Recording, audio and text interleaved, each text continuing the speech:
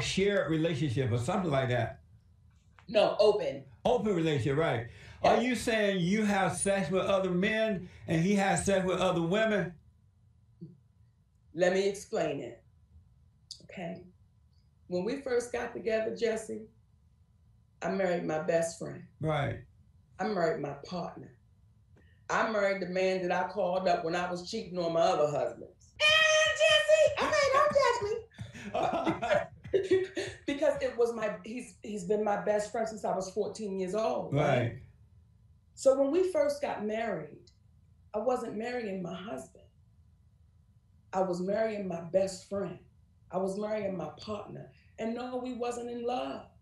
What I was marrying was protection. And I, I needed somebody I could trust. And I needed, I needed somebody that I knew that loved me for real. So when we first got together, It's called shared relationship or something like that. because in my mind at the time, I'm the boss. Yeah. My ego this big, baby. Yeah. I'm Nikki Parker. All over the world, Jesse. Okay. Amazing. When we first got together, because it was my best friend, I didn't know how to lie to him. I didn't know how to play him. So I said, listen, check this out. There's still a cat that I want to keep seeing. I enjoy his company. It ain't nothing serious. But, you know, from time to time, I like to see him. He was like, yo, you my best friend. That's not going to stop us from loving each other. Yeah. But I want you to understand something. You know, if you can see other dudes, I can see other women. I said, no, that's not the plan. I'm famous and not you. That comes with being famous. Now, that's initially how it started. Because in my mind at the time, I'm the boss. Yeah. My ego this big, baby. Yeah. I'm Nikki Parker. All over the world, Jesse. Okay. Amazing.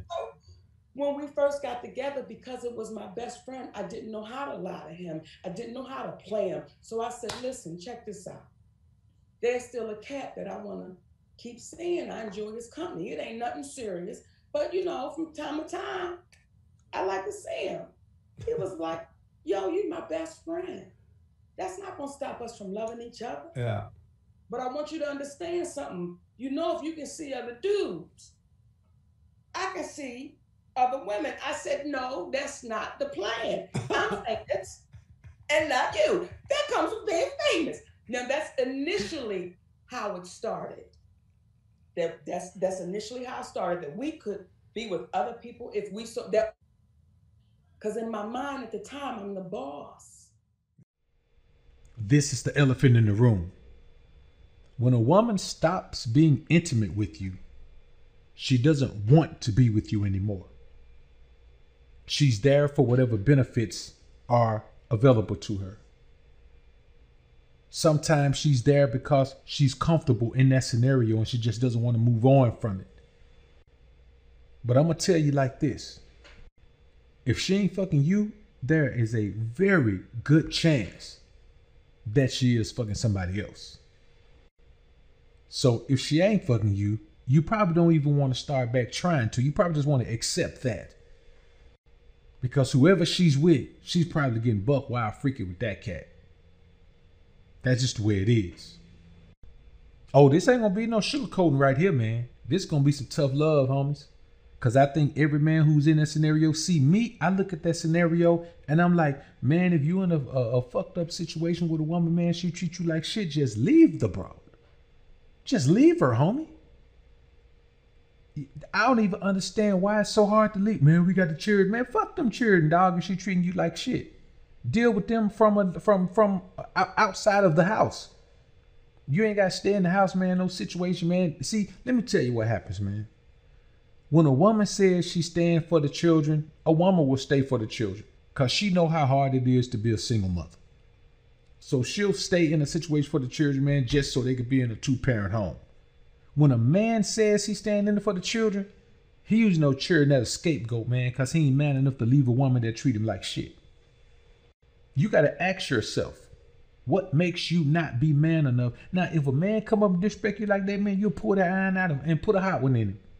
What makes you feel like it's a good thing for you to let a woman disrespect you regardless of what's going on?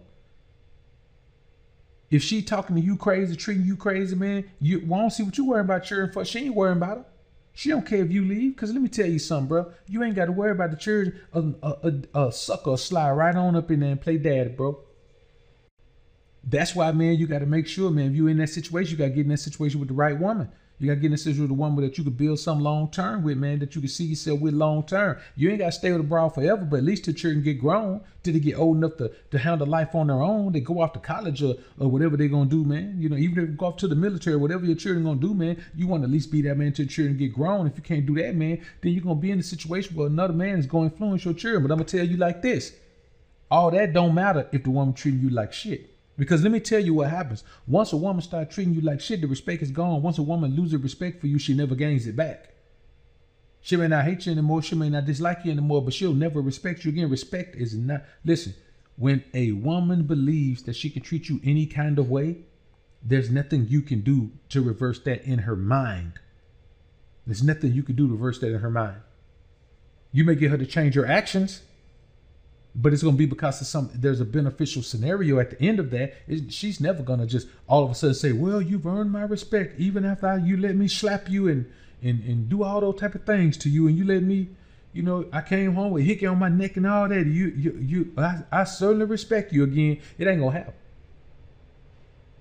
Now let's get into the meat of this thing now man.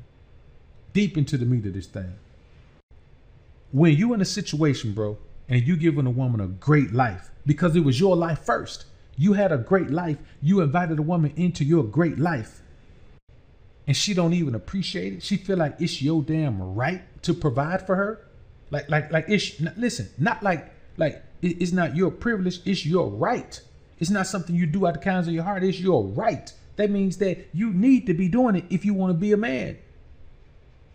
When she feels like providing for her is your job, no providing for your family is your job.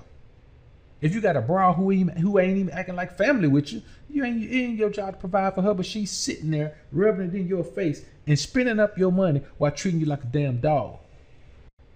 Man, some brothers out here getting money going through it with some scallywag, man. Who are you to put yourself through something with a woman, man?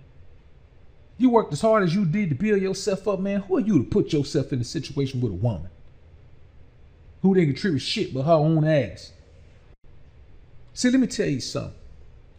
You got to make sure that you don't get validated by a woman's need for you. When a woman says she needs you, when a woman says she loves you, when a woman says she can't see herself without you, you got to make sure you don't get caught up in that shit, man, because a woman will capitalize on your need to feel needed. Once she got you in that headspace, man, when you feel the need needed, you're going to be right there you're gonna be when you need to feel needed, man, you're gonna be right there. All she gotta do is make you feel needed. She can treat you like shit. Plenty of men deal with it. Plenty of men get treated like shit. Why? Because they all the woman gotta do is come back and say, but I need you. A woman can talk to a man like a dog, fuck his friend, have a baby, do all that. He heading out the door, man. All the woman gotta do is cry and plead and say she's sorry and she don't know what she'll do without you. And you the most amazing man she ever met and all this shit right here that her actions don't never prove. And you know what you'll do? Okay, baby, we can work it out.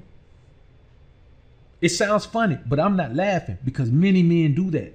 Many men stay in that scenario and try to work that shit out. How you gonna work something out when ain't nothing to be worked out?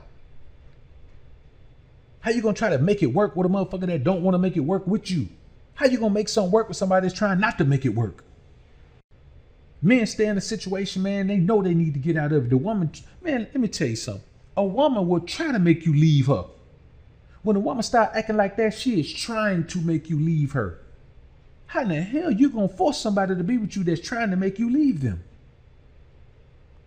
Think about this. If a woman does something and you get on her case about it, a week later, she does the same shit. You get on a case about it again. A week later, she does the same shit, does it twice that week, and you get on her ass again.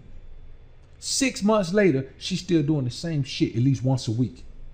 Telling you she forgot, telling you she didn't remember, telling you all type of bullshit.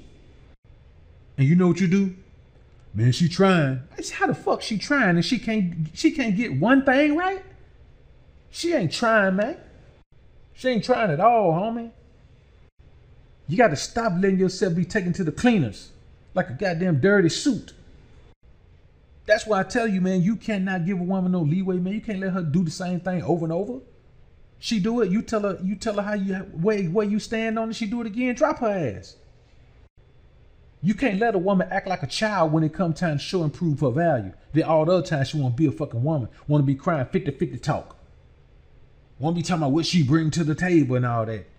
But then when it comes time for her to improve and, and, and change the situation that needs to be changed within herself, then she a child. She need to be worked on. She need she need to be taught and she need to be man, you a fool if you sit around here trying to teach grown ass woman something. If she older than 25, you trying to teach man, you a fool.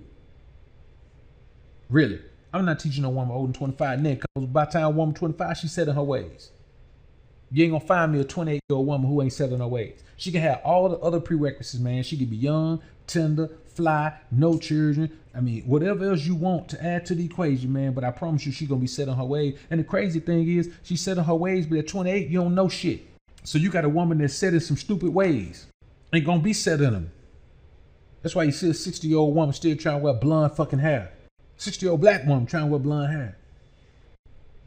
60 year old white woman still trying to wear a two piece bikini at the goddamn beach. Nobody want to see that shit. When you elevate yourself to the most alpha version of yourself, man, women are an infinitesimal part of your life, man. They only a part of your life when you have absolutely nothing else to do. Like they like her her value is what she contributes. A woman who walks up to you has absolutely no value until she shows you what she can contribute. What she contributes is her value. To these tricks, sex is her value. You know, see, Rob, I'm gonna be honest with you, man. These guys be in love, man. That's why I say, man, you cannot be emotionally available to women, man. You cannot allow, allow yourself to get emotionally attached to a woman because when you fall in love, man, you can't let her go. She can treat you, she can do anything she wants to. You can't let her go.